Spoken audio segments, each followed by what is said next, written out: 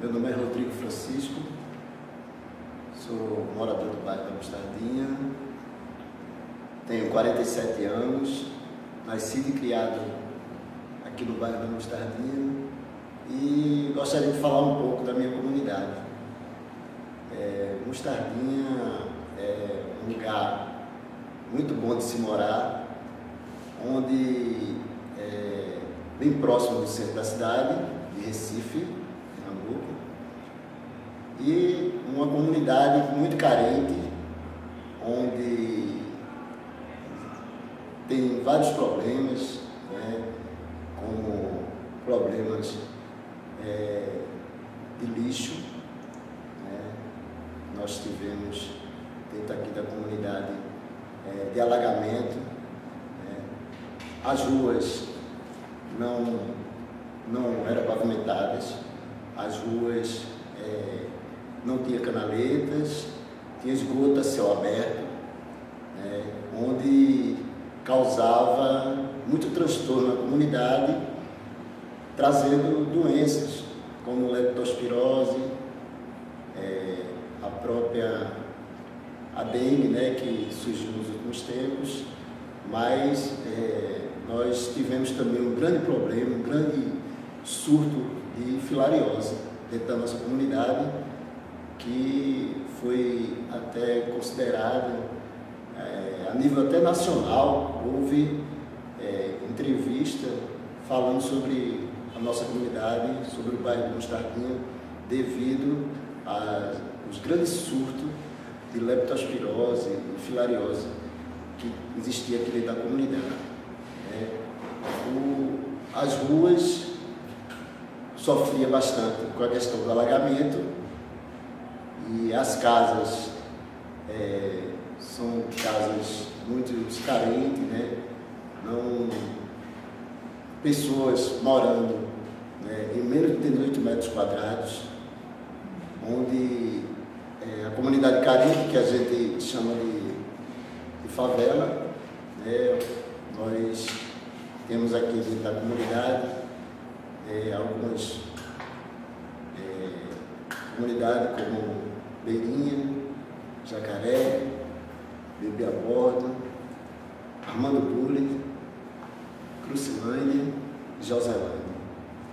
E essas comunidades né, foram erguidas por conta do, da dificuldade de habitação, né, de moradia. Então, as pessoas nesses espaços né, faziam as suas casas, né, seus barracos e ali começaram a, a, a viver né, e a morar dentro dessas casas de menor de 18 metros quadrados, onde nós tivemos no, no, no período dentro da, do nosso bairro, que a comunidade é muito politizada, né, vários movimentos foram feitos né, através da Associação de Moradores, através da Igreja Católica, né, uma parceria, onde nós tivemos até o, o apoio da comunidade,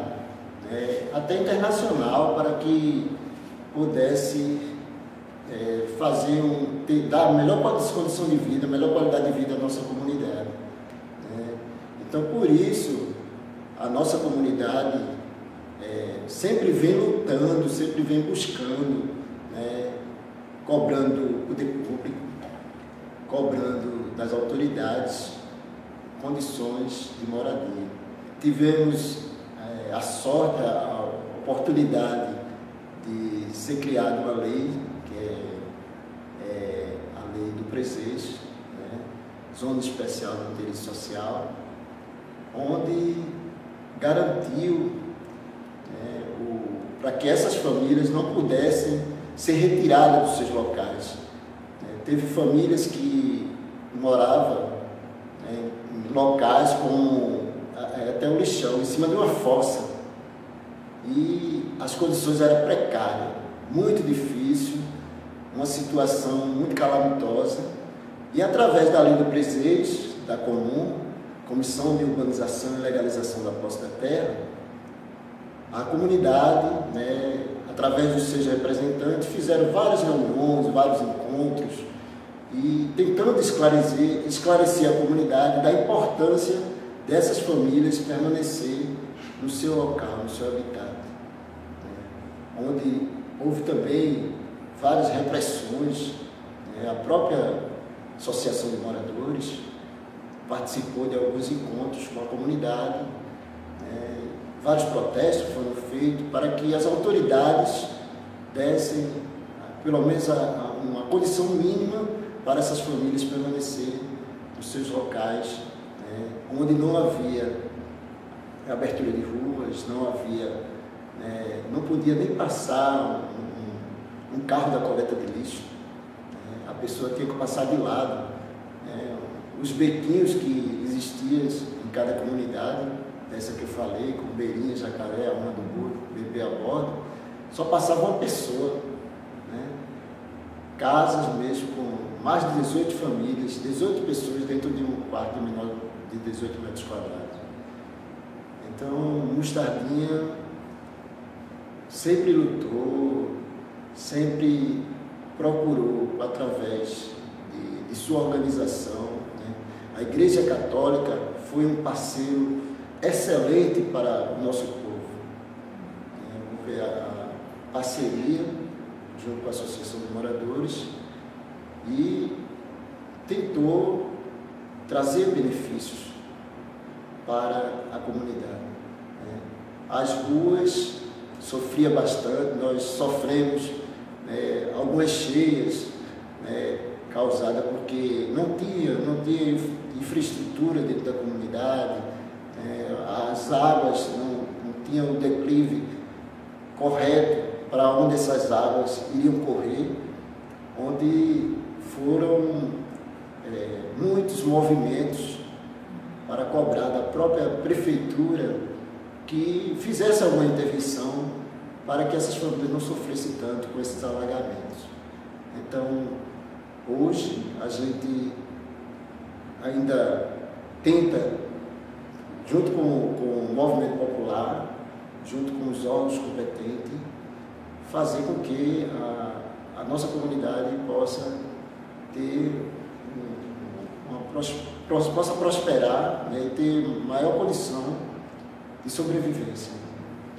Na década de 90, né, foi implantado aqui um, um modelo tecnológico chamado esgoto condominial então, assim, você podia relatar um pouco como é que foi esse processo de implantação desse modelo, assim, o que é que, que caracterizava esse modelo como um modelo inovador, né, porque não era um modelo convencional, né, que era um modelo atendido, que atendia toda a cidade, né, mas ele trazia alguns elementos novos. Que elementos eram esses?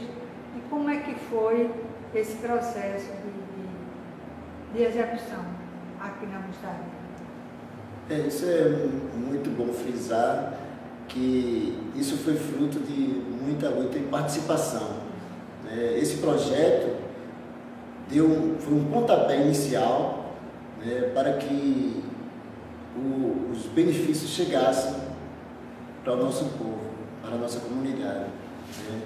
Nesse projeto foram várias reuniões feita, onde é, de imediato atendia uma parte da, da população do bairro de Mostardia com a criação de início de canaletas. Esse foi um dos primeiros trabalhos né, sendo feito aqui na comunidade e até um projeto onde que as pessoas não tinha nenhum lugar para fazer as suas necessidades fisiológicas, né?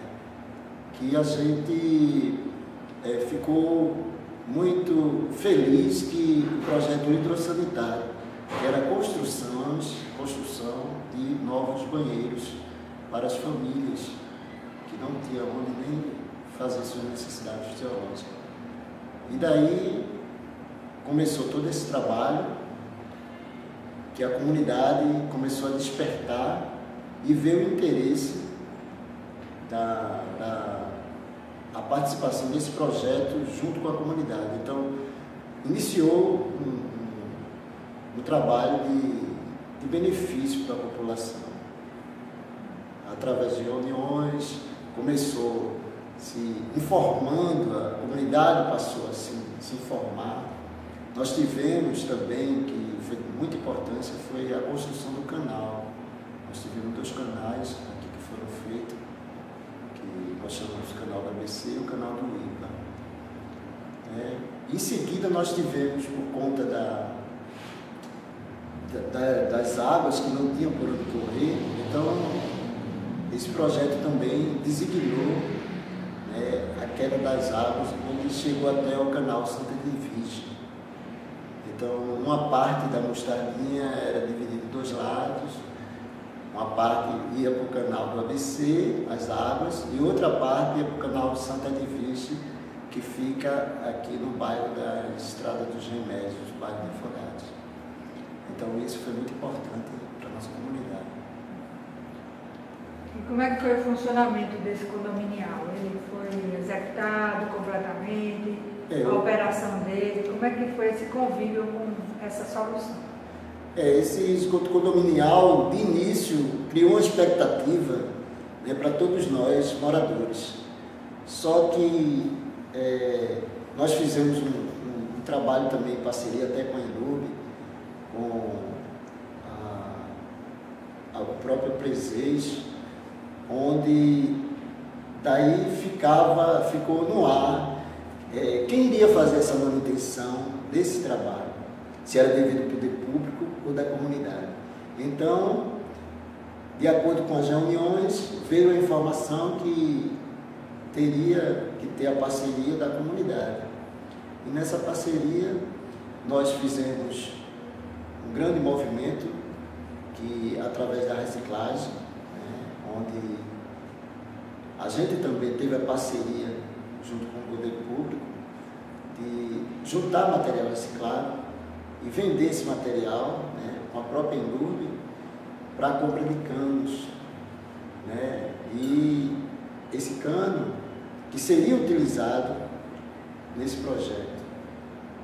É, em seguida, começou a fazer esse trabalho, nós se mobilizamos, acionamos, fizemos até peças teatrais para fazer, mostrar para a comunidade a importância de separar o seu lixo né, do material em termos de material reciclado. Então a comunidade se envolveu, começou ajudando, né, começou colaborando, os próprios catadores né, da comunidade foram cadastrados algumas, né, alguns catadores e esses catadores também tinham um percentual de ajuda por conta é, de todo o valor que era arrecadado.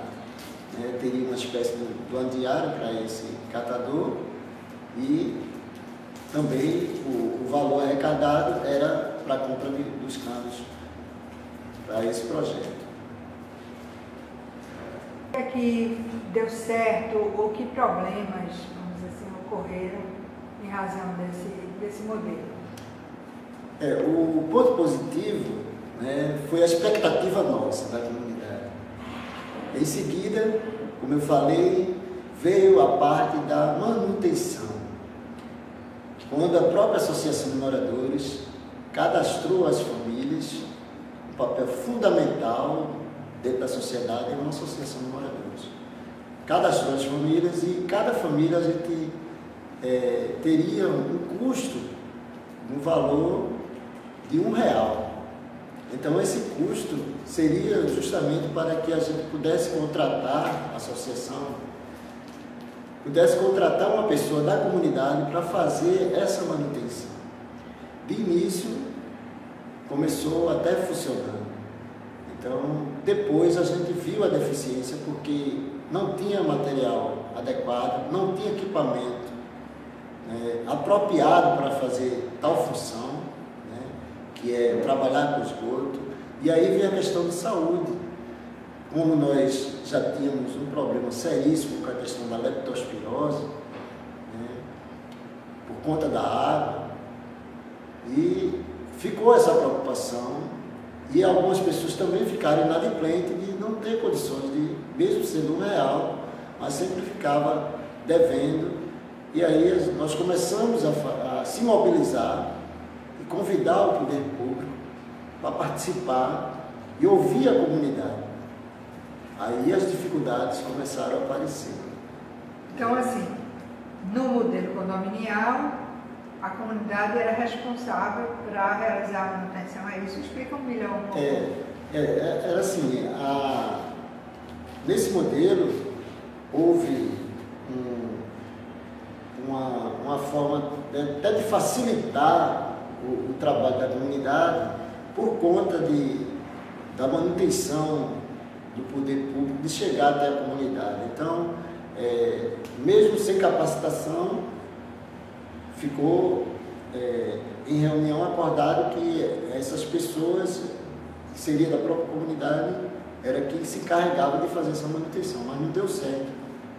Não deu certo porque mesmo o projeto beneficiando a comunidade tinha essa deficiência por conta de falta de equipamento e de pessoas qualificadas para fazer a manutenção do, do tal projeto dentro da comunidade. Mas a comunidade foi atendida como um todo por esse projeto?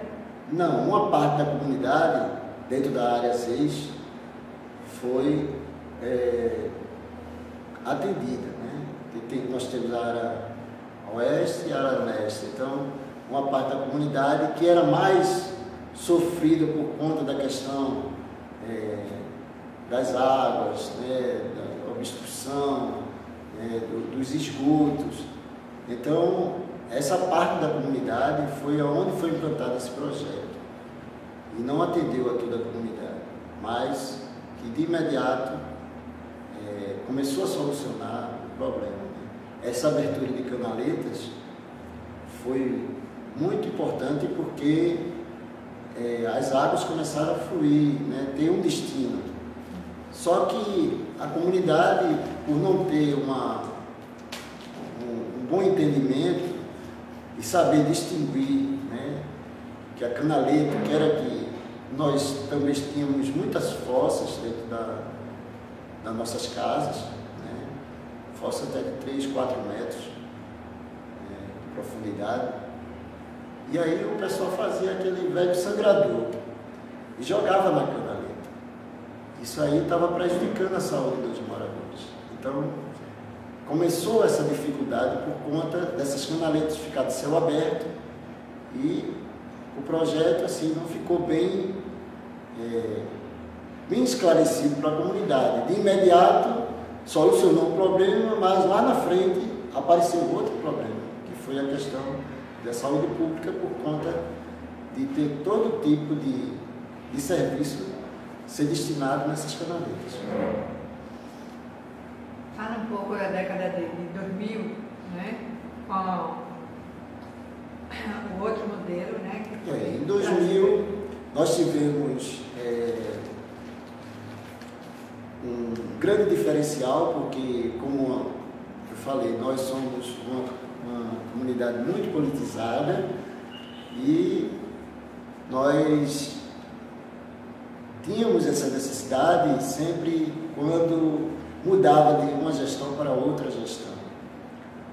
E aí a comunidade ficava uma perspectiva muito grande, por, porque ser uma comunidade carente, mas muito próxima ao centro do Recife, e uma comunidade e muito é, ativa na participação popular.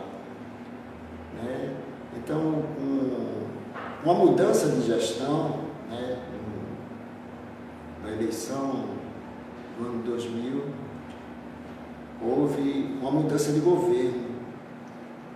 E nessa mudança de governo, os moradores é, criaram uma perspectiva por conta de projeto de campanha né, implantado devido à dificuldade que nós tínhamos de esse projeto é, ser apresentado como plano de governo né, do Partido dos Trabalhadores.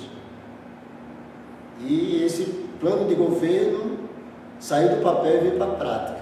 Então, para nós foi uma, uma, bem bem-vindo, porque a, a, perspectiva, né, a expectativa de, de melhorar a qualidade de vida das pessoas foi muito grande. Então, é, o projeto foi reformulado e passou para saneamento integrado.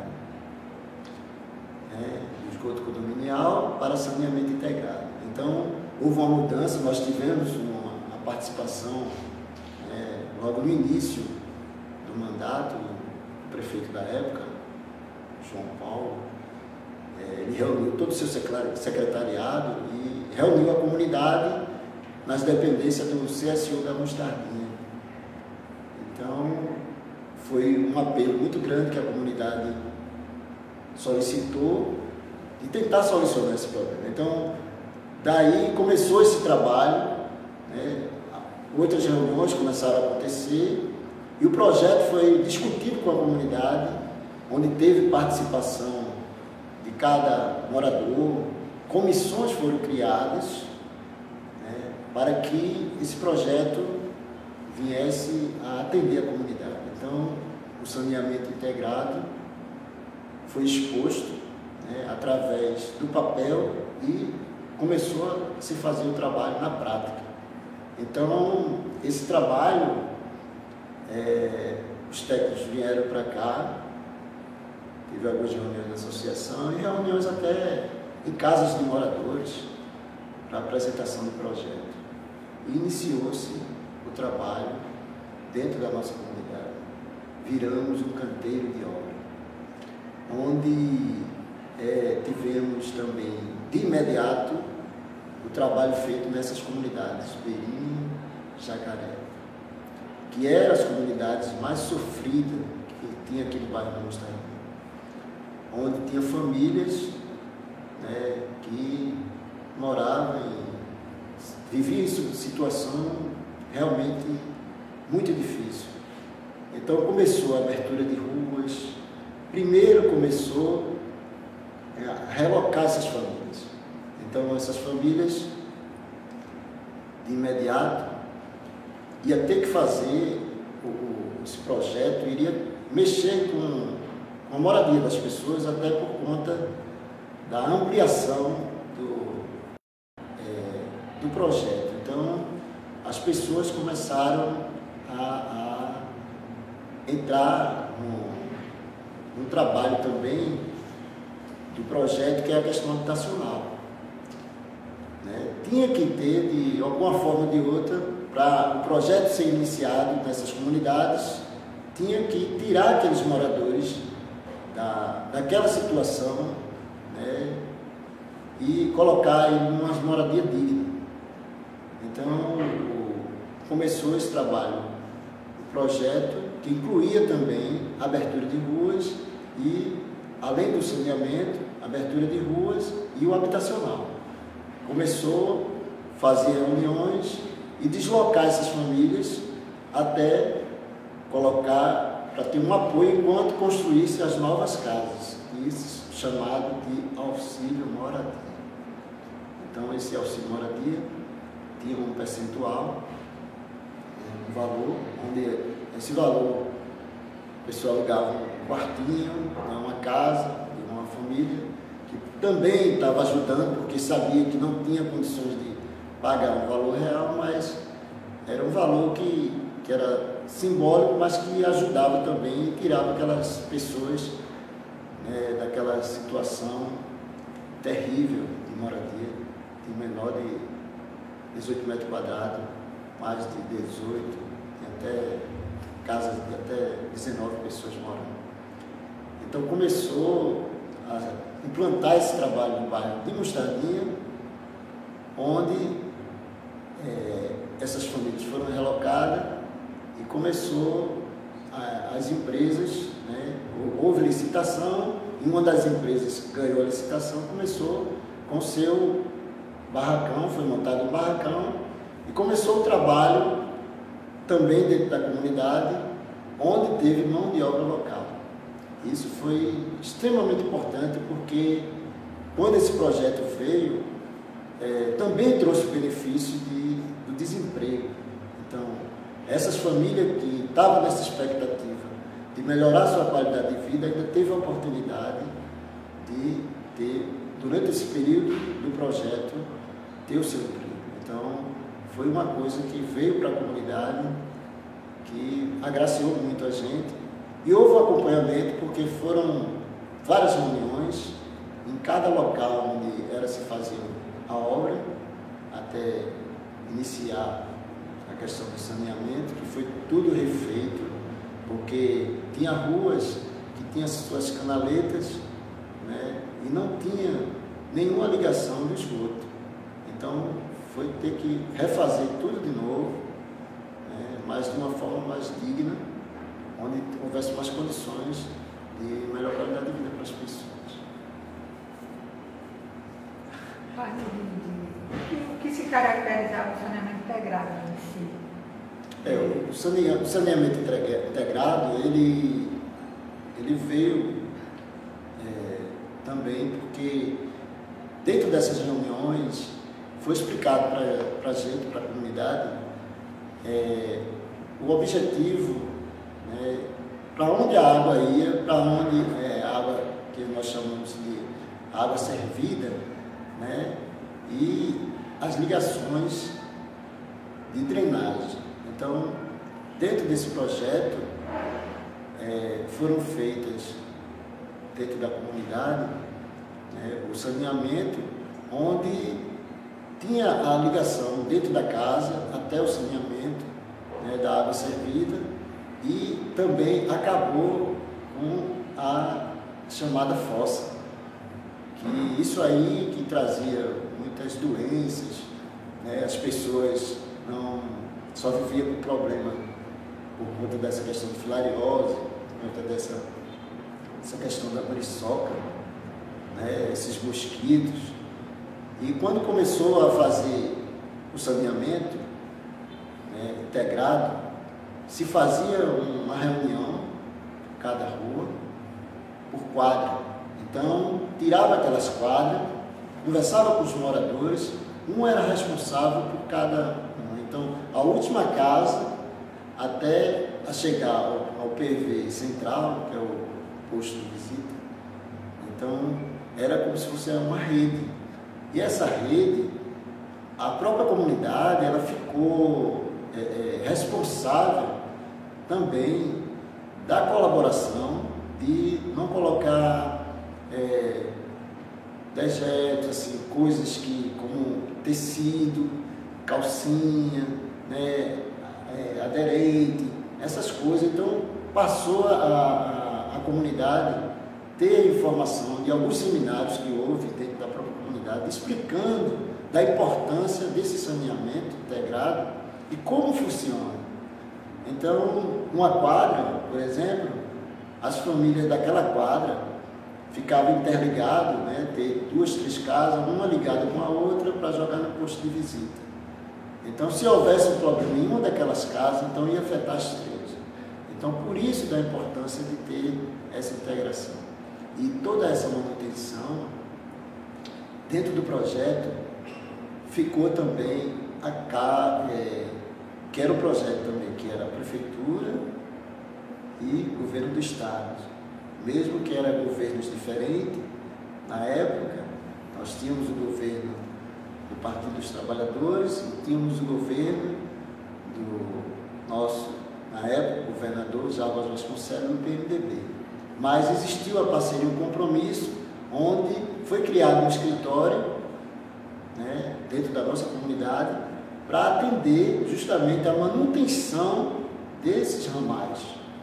Né? E desse escritório nós tínhamos a participação da comunidade e foi criada uma comissão chamada de CASA, Comissão de Acompanhamento e Saneamento Integrado. E nessa casa tinha a participação de um representante dos moradores.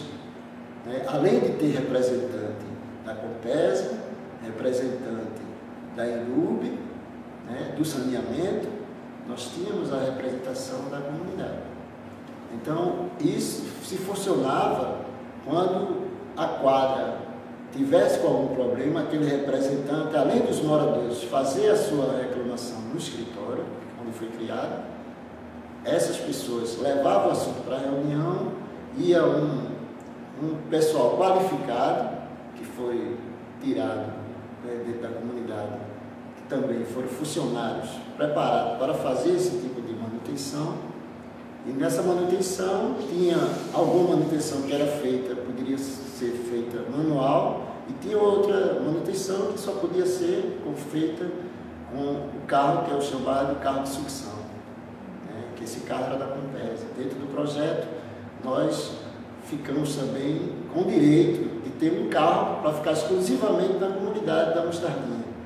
Mas como existiam outras comunidades na cidade que teve esse projeto, também em outros bairros, não ficava é, necessariamente na nossa comunidade, mas é, uma vez ou outra nós éramos atendidos. Agora precisava muita reunião para poder chegar a fazer é, essa manutenção.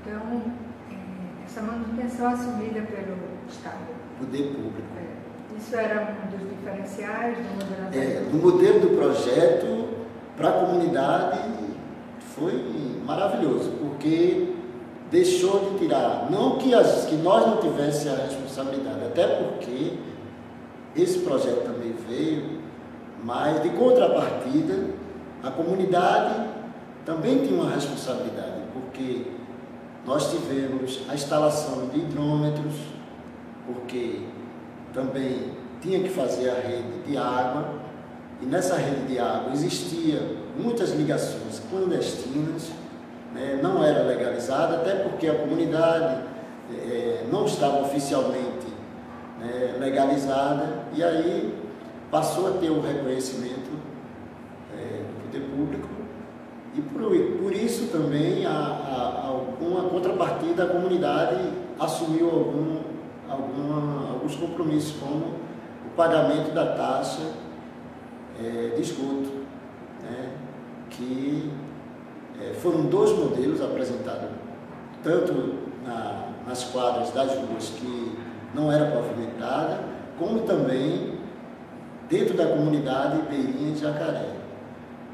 E veio essa apresentação em uma reunião onde nós tínhamos dois modelos. Né? Tinha o modelo passeio e o modelo jardim. Né? E a comunidade optou pelo modelo jardim, porque o jardim ficava dentro do, do imóvel, né, na, na calçada, né, por dentro do muro, dentro da sua cerca. Então ali tinha um percentual né, de até 60%. Né, e de 80% no passeio. Isso, isso no modelo condominial. No modelo condominial. Hum. Né, e aí com, com essa com essa nova, nova implantação, é, em, algumas, em algumas regiões, deixou de, de, de ter é, essa cobrança de imediato enquanto não concluísse todo o projeto. E aí teria essa manutenção, é, o, nós não iríamos pagar, porque esse escritório que foi montado dentro da comunidade, com esses servidores, né, tanto da Compesa como da Prefeitura, iria fazer essa manutenção. Então, iriam pessoas qualificadas, contratadas, para fazer essa manutenção dentro da comunidade. É, Rodrigo, é, se você fosse relacionar assim, é, que fatores é, é levariam que modelos como esse, né, modelos tecnológicos considerados inovadores, né, é, que fatores podem levar ao, ao sucesso, né, de, vamos dizer assim, a que eles se consolidem? Né, você poderia relacionar assim, o que você acha que seria necessário para que eles... É, de imediato, assim, gente sabe que, para quem não tinha nada, né, foi boas coisas que aconteceram. É, um projeto melhorou outro projeto que já existia, é, que era é, essa questão do, do esgoto condominial. Então, é, a melhora que trouxe para a comunidade foi muito grande, um benefício muito importante. Agora, também a comunidade é, precisa né, a, a questão também da educação, né, porque é, é, um, é um serviço que traz um benefício, mas que a comunidade tem que estar preparada.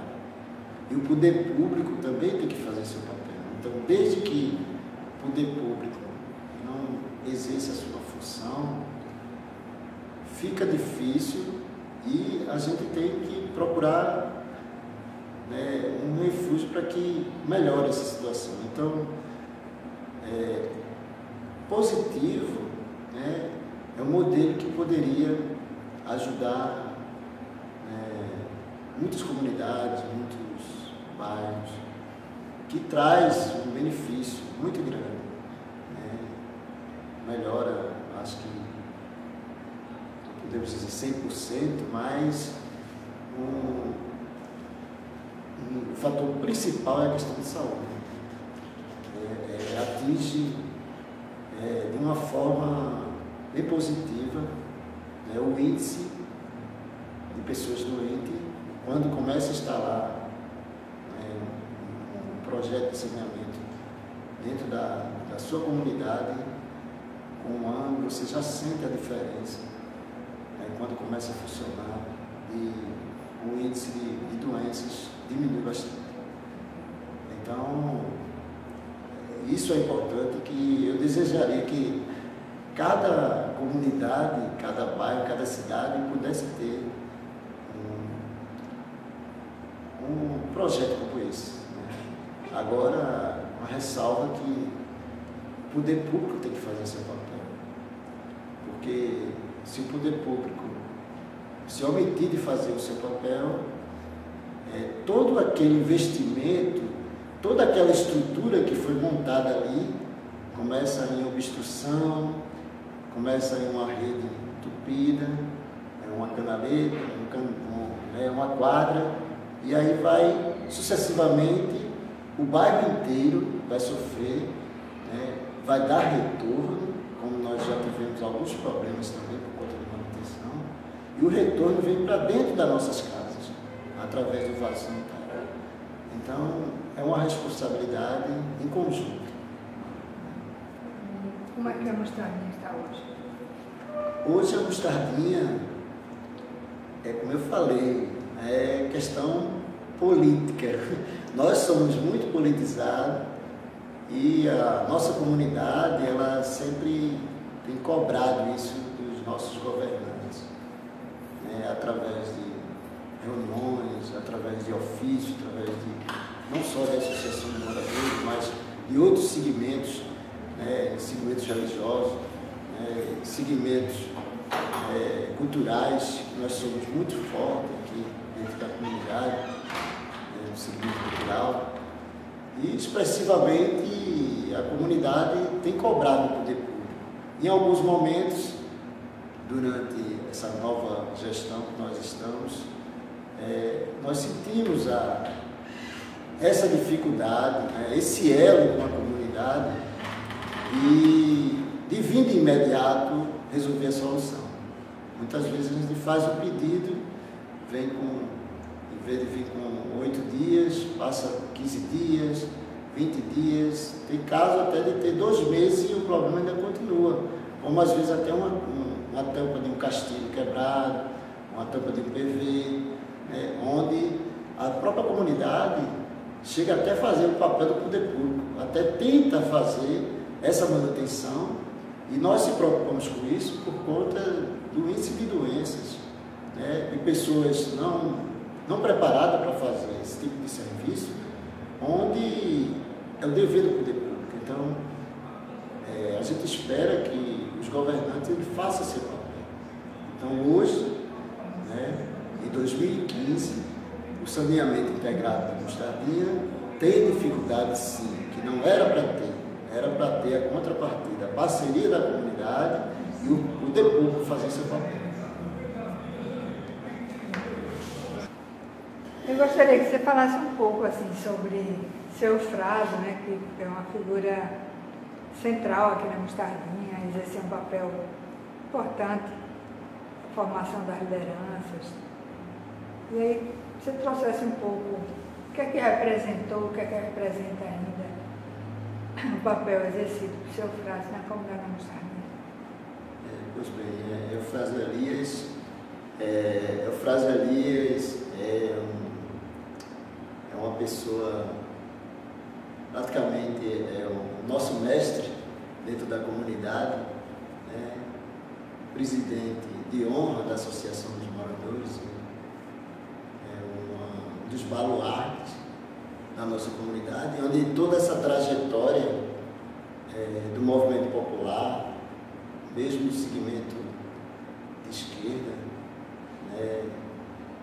mas que trouxe vários frutos da participação a expressão da, de mobilização, de luta pela, pela comunidade, pela moradia, pela qualidade de vida das pessoas, da política, né? falando da política que ele sempre tentou mostrar a importância do social na comunidade, na participação, todo mundo é, tem o direito de, de participar, de saber o, o, seu direito como cidadão.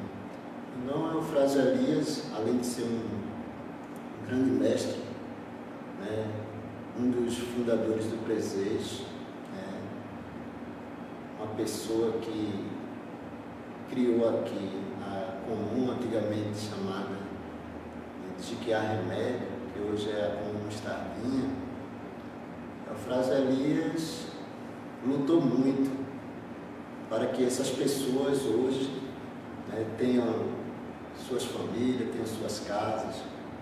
Eu lembro bem que na época de Miguel Arraes, onde tivemos alguns projetos aqui de habitação, onde a gente, nós tivemos ali na comunidade do, da Vila dos Inocentes, Vila Ártica, onde várias casas, várias famílias que moravam em invasão, hoje têm suas casas graças ao presidente, na época, da Associação dos Moradores do Mostardinha, Frase Alice, que lutavam, né, o projeto mesmo com, com a Coab que nós tivemos aqui, de melhoramento para doação de construções, né, de material de construção, onde a comunidade pagava um valor bem simbólico né, e conseguia melhorar suas habitações, suas casas, que era muita casa de taipa,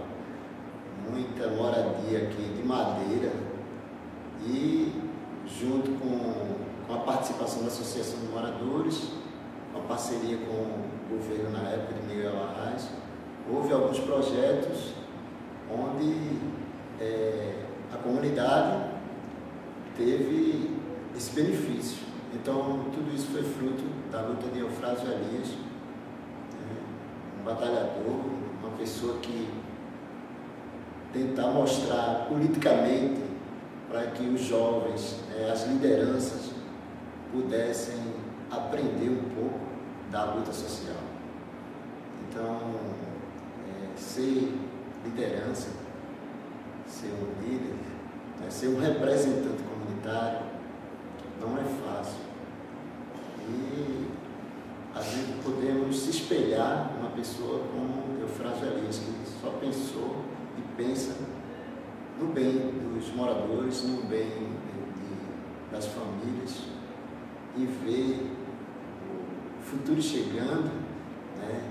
ver as casas dignas, implantar a lei do presente, que garantiu que as nossas famílias hoje pudesse morar numa habitação digna, nós tivemos relocamento de várias famílias e que muitas delas devem né, agradecer a esse trabalho maravilhoso que é o trabalho de Eufrásio Anísio. Então, eu aprendi muito com ele e aprendo todos os dias que ele tem ensinado né, a postura de ser uma liderança comunitária. Não é fácil, pessoal. Né, tem pessoas que dizem assim, ah, eu sou liderança, porque um poder de mobilização, mas não é isso. É ter aquela participação, aprender a respeitar, aprender também a dar um pouquinho de si e valorizar tudo aquilo que você aprendeu em benefício da sua comunidade. Então, Eufrásio, ele se dedicou bastante.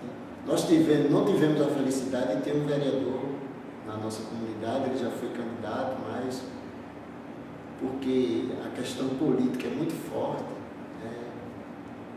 ele hoje faz parte, né? ainda continua no partido PCdoB, mas ele tentou, tentou, tentou, mas uma coisa que ele conseguiu foi valorizar cada vez mais o bairro da Mostardinha e a sua comunidade. Eu frase ali está de parabéns, é um orgulho ter trabalhado ao lado dele. Eu fiz parte também, né, como diretor, em uma gestão dele, Associação de Moradores, tive a oportunidade. E é, hoje eu tenho a minha parcela de contribuição na comunidade graças ao trabalho né, e o espelho que é Eufrásio Elias.